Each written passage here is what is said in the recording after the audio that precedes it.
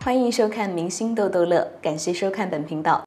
随着披荆斩棘的哥哥四公落下帷幕，这也意味着这档节目已经进入了倒计时，正剩下五公和成团夜。四公分为个人赛道、双人赛道和阵营赛道，哥哥们带来了有史以来最多的十二个表演舞台。最终，陈小春组在个人赛道是第一，张晋组在双人赛道是第一。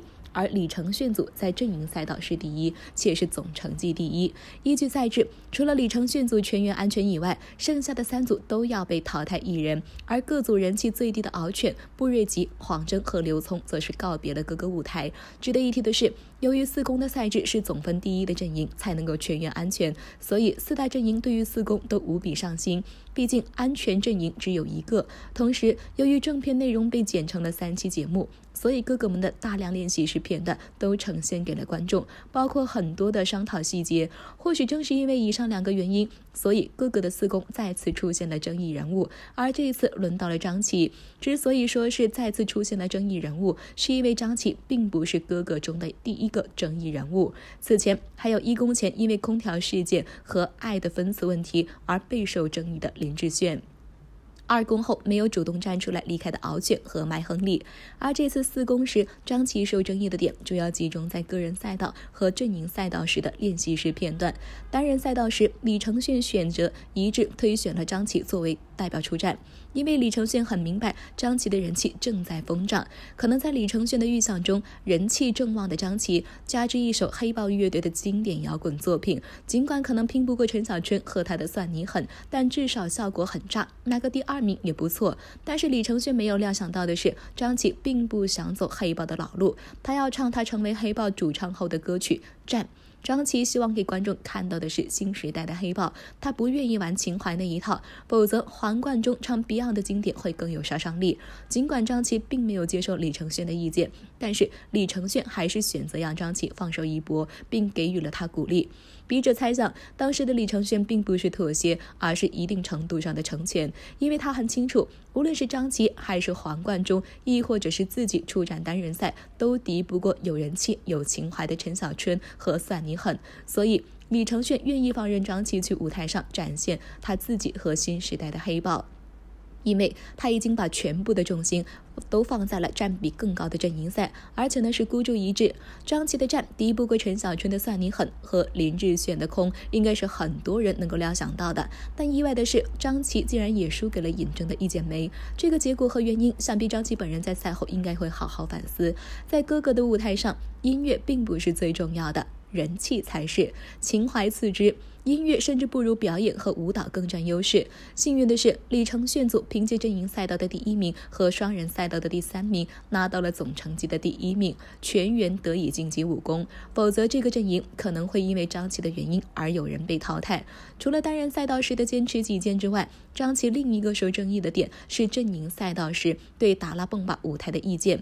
当时，张琪建议在达拉崩吧前奏响起来之前，加入一段自己啊的吟唱和一段独白，以充实作品的故事性。对于张琪的这个意见，首一首先呢，导演发布声明说，啊的吟唱还可以，但是旁白需要对内再讨论。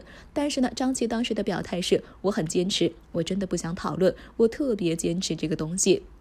之后，欧阳靖也发声表示，阿的吟唱比旁白更有故事代入感。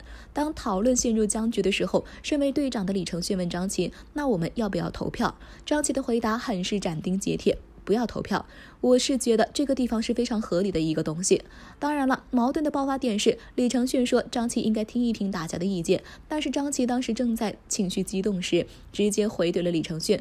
所以，有关于我说的任何话，我只要一说话，你就否定了我说话。对于张琪力排众议，希望说服队友，以及怼李承铉的这一片段，网上的争议很多。有认为张琪没有团队精神的，也有认为张琪只不过是坚持了自己对音乐的理解的，还有人认为张琪在成功改变了悟空之后飘了的。在笔者看来，当时李承铉组处在会议讨论的阶段，为了呈现最好的舞台效果，为了自己的团队能够全员晋级，张琪表达的自认为对的想法，这一点其实并没有错。但是张琪忽略了一点，他不是在场唯一的音乐人，也不是玩音乐最牛的那个人。所以呢，当导演和队友有反对意见的时候，他应该意识到自己的创意是有问题的。更关键的是，张琪不同意，不应该投票。毕竟呢，达拉蹦吧是一个阵营赛曲目，而不是个人赛曲目。庆幸的是。还好，达拉蹦吧最后拿到了阵营赛的第一。但是如果输了呢？如果有队友因此被淘汰呢？张琪该如何担责？张琪作为哥哥这个节目里的黑马之一，想必节目组都没料到他能有如今这样的人气和热度。那么在四公这样一个关键的比赛阶段，节目组明明可以不把这一段剪到正片中给观众看，为什么最终还是做了呢？为什么节目组在临近最后关头没有放过张琪呢？其一，可能是因为李承铉组作为四公以来从无败绩的团队，组内的队员们人气攀升过于猛，把一些有资本的前辈人气压得厉害，所以节目组不得不剪辑一些东西。其二，同样还是因为李承铉组成绩过于优秀，除了从无败绩之外，队内氛围和谐的意外，以至于有网友质疑李承铉组，尤其是李承铉和张琪是所谓的皇族。所以节目组才需要靠剪辑以正视听。但其实李承铉组之所以能从一公到四公从无败绩，第一点原因的确离不开霍姓男歌手的加持。因为一公和二公时他都是队内人气王，但是三公开始李承铉组的成绩则要感谢李承铉的选人策略和选举的眼光，以及队内基本都是音乐人的原因。毕竟实力确实摆在那儿。这一点毋庸置疑，但据悉李承铉三公和四公的原班人马在五公并没有被打散，但是呢却输给了张晋阵营。至于究竟是人员终于出现了问题，还是排兵布阵依然有问题，亦或者是选取不敌张晋阵营，我们武功拭目以待。李承铉组个人赛垫底。陈小春组双人赛垫底，其实呢都输在排兵布阵，以鸡蛋里挑骨头的态度。看披荆斩棘的哥哥，至少有三大槽点。哥哥中的五位说唱歌手，有人得不偿失，有人不虚此行。